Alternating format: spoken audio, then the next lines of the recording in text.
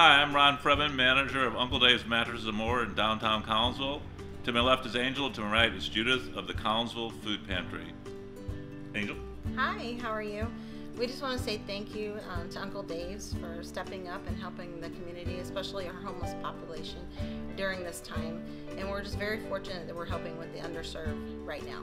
We're collecting food, spaghetti, sauce, canned goods, cereals, and we're collecting winter coats slightly used. Come on in. Thank you for your holiday season support. Merry, Merry Christmas! Christmas.